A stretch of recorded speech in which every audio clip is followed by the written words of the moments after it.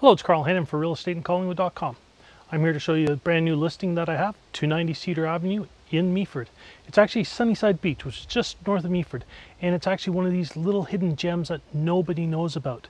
So if you want to know more about this listing and also the community that surrounds it, then just hang on a moment and we'll go take a look.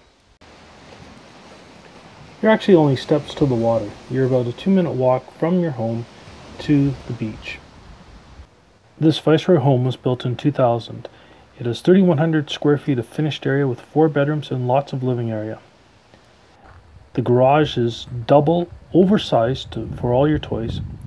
It also has a full on workshop with proper power and also lots of room for the handyman. This home boasts two living areas, one with a gas fireplace and also one with a wood burning fire insert. The eating kitchen is very large and has lots of storage. Just off the kitchen there is also main floor laundry. This part of Cedar Avenue is a private road administered by the residents of the area. You'll see lots of dog walkers and joggers and cyclists during the day. Well, it's Friday afternoon and the sun is out. I've had a walk around the community and met many, many nice people that are able to tell me all sorts about how lovely of a community this is.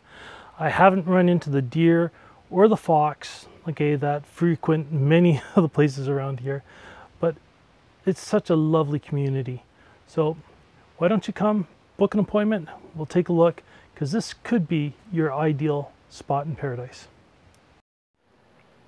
For more information on this property or any of the other properties in the Southern Georgian Bay area, see www.realestateincollingwood.com.